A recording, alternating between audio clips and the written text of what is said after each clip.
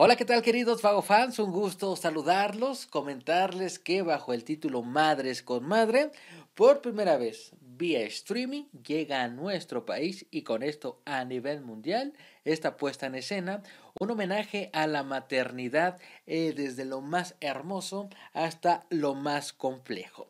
Hubo conferencia de prensa con eh, nuestros amigos de la gran audiencia, con Point Comunicación y ahí mencionaba la directora Brit Mayet sobre el por qué este título. Escuchemos.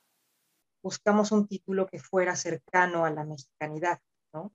Y además de que creemos mucho en la obra, la obra a pesar de ser eh, de origen estadounidense, neoyorquino, eh, eh, las escenas, los temas que toca son completamente cercanos a, cualquier mamá de cualquier país y de cualquier cultura.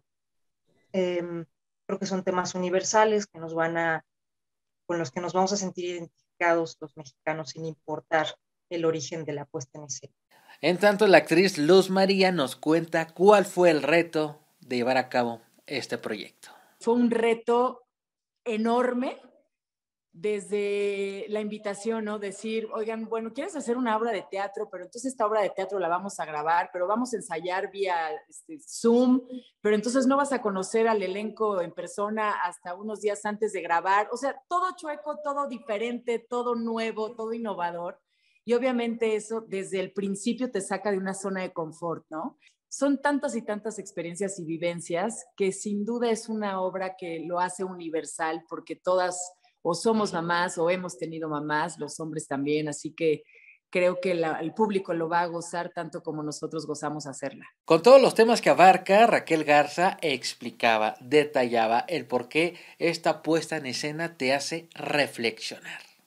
Es una obra que me ha hecho, me ha hecho me ha conmovido, me ha hecho reflexionar, me he visualizado, me he espejeado con ella, pero estoy sumamente contenta que, que la primera obra que yo hago con este formato sea Madres con Madre, con, una, con un elenco muy, muy, pues muy talentoso. y ojalá que la gente pues el 5 de junio nos espere con muchas ganas, porque esto fue hecho con amor, con pasión, con locura, como se hace un poquito el teatro y más en estas épocas. El hombre de esta puesta en escena, Paco de Miguel, quien debuta en el teatro con esta puesta en escena vía streaming, pues también mencionaba que toda esta gran historia, eh, seguro habrá un momento en el cual te puedas identificar.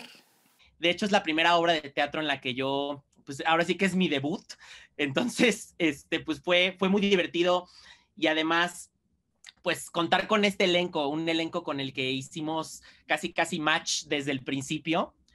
Y pues todas las escenas te, te cuentan, te cuentan algo diferente y te puedes identificar, es para todos, o sea, todos se pueden identificar con algo de esa obra en cualquier momento. O sea, puede ser de que te puedas identificar con, con la, con la viejita, porque además hay que decir que, en esta obra hay muchos, muchos matices y muchos personajes que cada quien interpretamos. No sé, a mí me tocó interpretar desde un señor hasta una viejita, hasta un niño.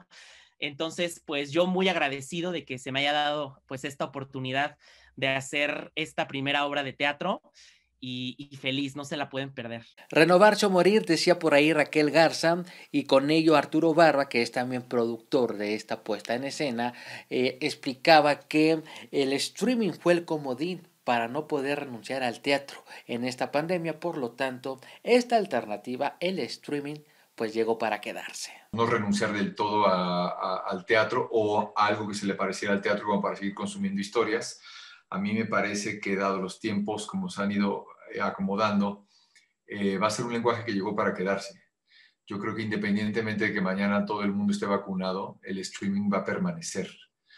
Eh, y para mí, al menos como actor y productor, era importante innovar en un lenguaje que siento que va a quedar. Muy bien lo que dice Raquel de renovarse o morir. Y en ese sentido creo que primero es verdad que había que seguir este, tratando de llevar historias eh, con estas nuevas este, incertidumbres. En la conferencia de prensa faltó mi querida Mariana Echeverría, pero eh, sin duda la podremos ver en esta grandiosa historia. Madres con Madre, los boletos a través de Ticketmaster el próximo 5 de junio a las 20 horas, tiempo de la Ciudad de México.